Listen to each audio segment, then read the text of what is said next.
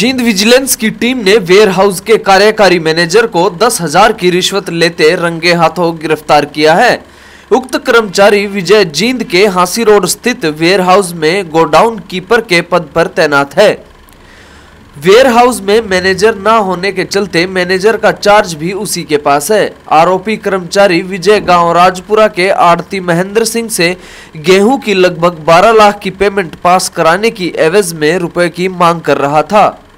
जानकारी के अनुसार पीड़ित आड़ती महेंद्र दस हज़ार उसे पहले दे चुका था, जिसकी वीडियो भी उसने बनाई थी। आज फिर उससे पैसे देने से पहले उसने विजिलेंस से संपर्क किया और विजिलेंस ने टीम बनाकर उसे नोट देकर आरोपी मैनेजर के पास भेजा। जैसे ही मैनेजर ने उससे रुपए लिए, विजिलेंस की टीम ने उसे रंगे हाथों गिरफ़्तार कर लिया।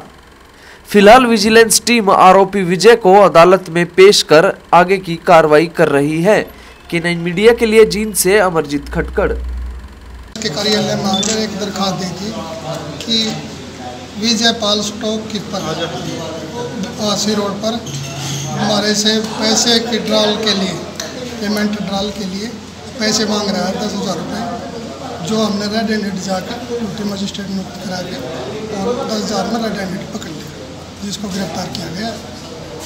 महेंद्र कहाँ महेंद्र हमारा बहन का। किस तरह राजपुरा बहन क्या किस मामले में? हाँ किस तरह की पेमेंट गेहूँ की। अच्छा।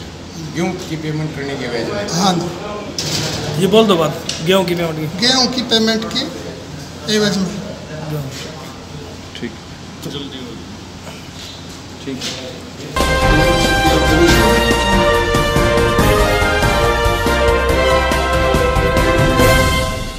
मीडिया अब आपके लिए लेके आया है latest technology with fully wireless system, जिसके द्वारा आप अपने किसी भी प्रोग्राम को लाइव कर सकते हैं, जैसे कि राजनीतिक रैली, जलसा, जागरण और स्पोर्ट्स इवेंट।